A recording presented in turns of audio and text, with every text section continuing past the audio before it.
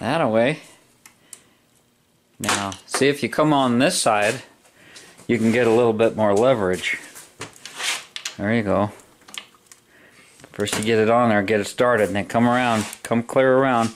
Now you can pull back on it with two hands. See, pull, pull, pull, pull. There you go. Now you go back and forth. Repeat after me. Righty tighty. Righty tighty, lefty loosey. Well, you know that already. Who taught you that? Myself. Huh?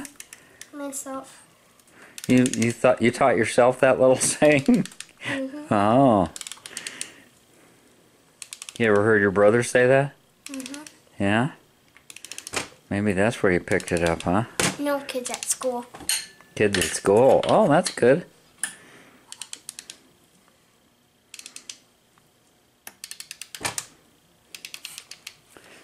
So what we're going to do is take that cover loose and then we're going to take some gaskets off of there and see if we can get that to have the right kind of play in it.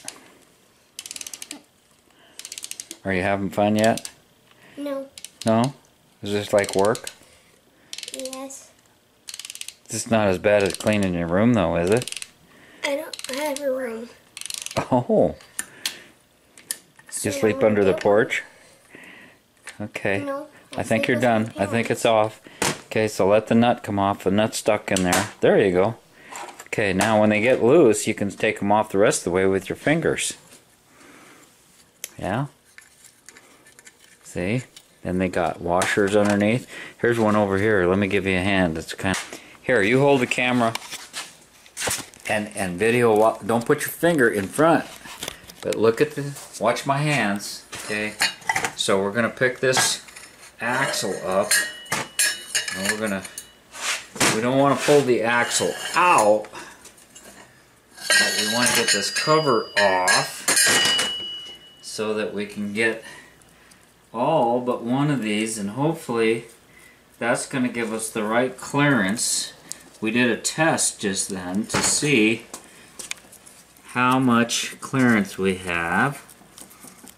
We don't want to tear the gasket because that's got to hold the oil inside the transmission. Today we're trying to uh, do the final assembly on our close ratio transmission and this is going to be a tough video to make. Uh, my grandson was just here for a visit and uh, I need to get a little bit of him in there for uh, his satisfaction and I know some of you don't like these long technical videos. Uh, it's hard to please everybody. Make it entertaining, make it informative, and get the job done. Okay, these have to fit against the side plate like, like so. You don't have a CV joint with a swing axle. This is how you get your up and down wheel action. It's more of an arc.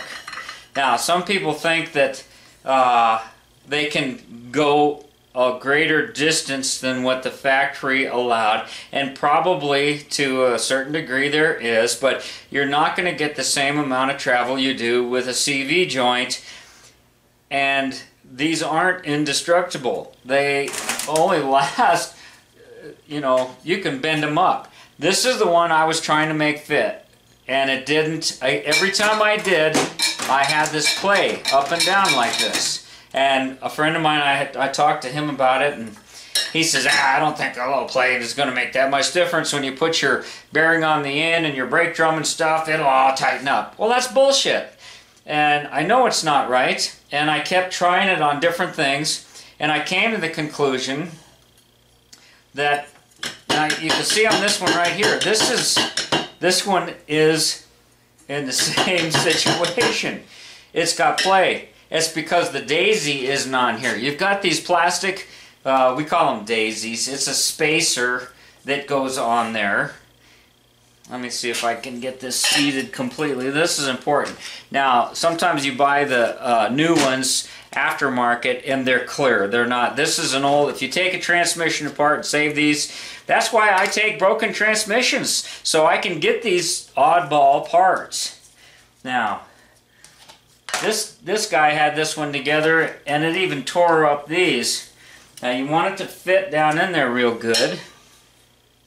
and then that keeps your metal to metal contact on there along with lubricant and then this sits on there and see there's no play. I can't move it up and down. Now I'll take this one off and I'll put this one which appeared to be good and I fought with for a long period of time put this down and I've got play up and down.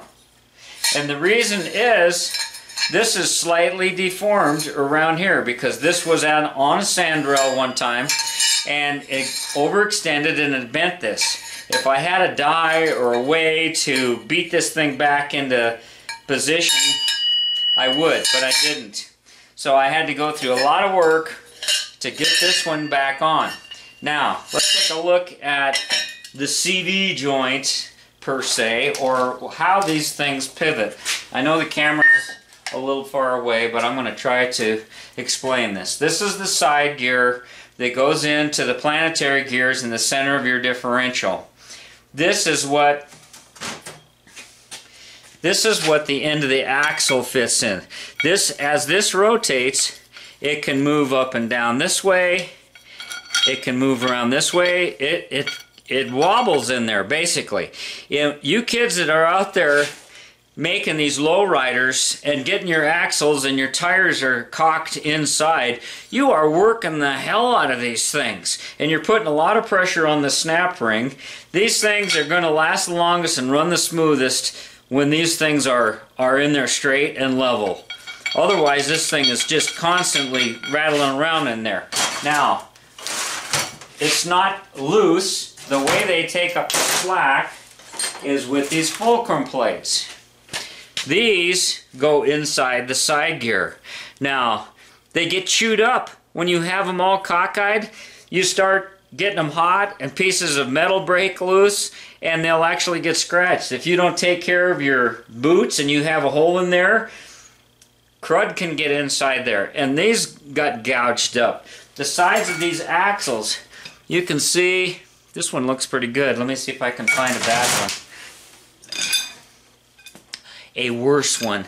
This one I took down out of the attic. I didn't try to clean it up. But they'll get gouges in there and they'll tear up these plates. The only thing I can think of, you can't just go buy these fulcrum plates, trunnion bearings, trunnion plates. But what I did was stone them down on a knife sharpening stone just to get the high spots off. Okay, now you put lubrication on them and you set them inside here and the way I've found, it's it's very difficult. it's very difficult to get this stuff together. I don't know if I can just wing it here on camera, but I'm going to try.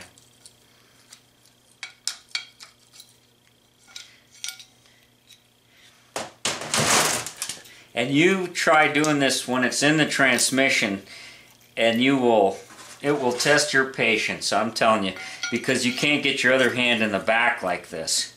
Now this one is not even going to go, yep, there it goes. It finally went in there. Okay, I don't know if you can see this in there. So now you've got that fulcrum plate in there and you can go side to side and up and down. But it can only go so far. And it works a lot smoother when you got that 90 way transmission fluid. When I assemble my transmissions, I usually use uh, pure synthetic heavyweight uh, and I put it all over everything. I just lather it up. I use this uh, Lucas pure synthetic oil stabilizer. It's so slippery, it's unbelievable. And I'll, I'll put that all over everything. Now it's inside there. Uh, then you've got a, a plate, a small plate that goes over it, and then you've got a snap ring that you've got to get in there. And that snap ring will test your patience as well. Let's see if I've got one handy. Now, you want to keep these as match sets. You want to keep these as match sets. When you take out a transmission, you want to keep all of this stuff together. So you don't want to mix and match this stuff because it's worn in to fit. Any play, any slop that's in there is going to be magnified if you take it off-road and it's going to tear things up. It won't last as long. here's something that uh, if you see these fulcrum plates that have the grooves on them, these are for uh, oversized. Now, they want you to take a feeler gauge and stick it down between there, and it should be between four and nine thousandths of an inch clearance. But what are you going to do? You got a 50 year old or older transmission. You can't just go over to the parts bin and grab that stuff. So you just reuse whatever it is you got. You put it in the back of your mind, and when you're driving down the road and you hear noises and things are getting hot and not working right, these are the things that uh, you can figure out what the problem is. And what are you going to do about it? Nothing. A lot of times just letting it cool off. Metal expands when it gets hot. All those clearances change. This is cold. This is room temperature. As you get it under operation, that thing's probably going to be running 180 to 200 plus degrees. And uh, the sizes are going to change. Well, I lost my place. I don't know where I was at. I've got uh, the bulk of it back sitting in the car. It has been a real challenge to get the right axle tubes.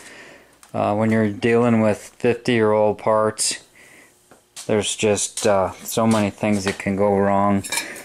These metal flanges, this one looks fine, doesn't it? But it's not. Uh, that part of the flange is good, but this is bent and I don't really have a tool. That would be cool if somebody made a took a piece of pipe or round stock and made something that could reshape that and, and get a good flat surface. I can't do this stuff without the book. Uh, I ran into something today. Oh, nope. This is your what your seal rides on. That was all screwed up on the other one. Oh, where is it? The part that goes into the axle. Oh, here's something else. Um, this is a bearing that was on the car on the driver's side and you have to examine every single little piece. So a piece of metal was floating around inside that bearing. See it right there? See how that's open? That was bearing. That again, it was on that driver's side. That that car took just an incredible hit on that driver's side. Uh, now this is the piece, and they make a heavy duty one. This goes on next, and then your bearing would go on, and this is tapered. Now I found out there's a different diameter in these. Uh, some of them are larger. This is a short axle I don't know if you can look at see the difference. And this is uh, this is what they call a long axle, and you can see the difference in the length of the splines there. So tomorrow I'm getting into that, but I thought maybe I'd post up a video of what I had done so far. I think I better put this back where I got it so I don't forget overnight. You have to do that when you're an old. I don't have Alzheimer's. I have sometimes. I can remember stuff sometimes. so, oh, what, what what else was it? The uh, the clutch arm spring was broken.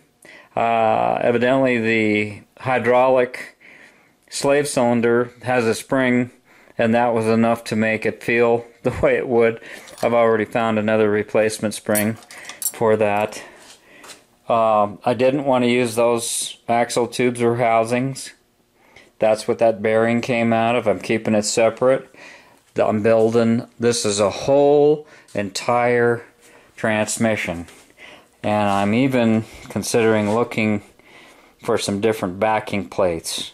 I want a complete replacement transmission. So if I were to break this thing on Saturday, I could have another transmission by the end of the day Sunday. That's what I want. I want spare stuff. I want. That's what I want. So, you know, it just takes. I have the parts. So, why not start eliminating this pile of crap? Get rid of the stuff that's not useful and put it to use.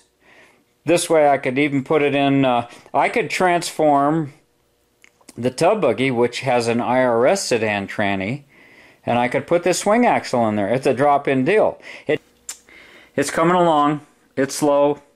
Uh, I enjoyed having my grandson up. Uh, we had a little talk. We looked at all this stuff. I don't know what kind of impression it made on him, if anything at all. Um, I think it overwhelms and scares some people. it should overwhelm and scare me. but it's uh, just part of the game. Uh, the nice thing about it, all the cleaning will be done. I'll go around the block and I will know in one ride around the block whether it's going to work or not. And having all the tools out and having everything clean will make disassembly much smoother, faster, um, than having to deal with some of this other mystery stuff here.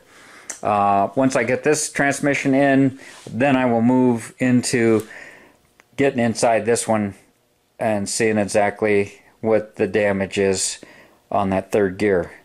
Uh, hopefully it's just a hardened key that I need and hopefully the main shaft isn't screwed up where the keyway is. Kind of an update video. I don't know how to make these type of videos short. There's some people that will watch anything. Then there's other people that want to learn. Then there's other people that want more entertainment. They want something more fast paced, uh, riding around out on the dunes. And hopefully uh, there'll be some fall left. It's pretty cold now, but hopefully we'll have some nice days. We can get up in the mountains, maybe with the Baja or with this car, and see some leaves changing and have some fun that way. Thanks for watching. Thanks for subbing. Easy Jeezy. Ow.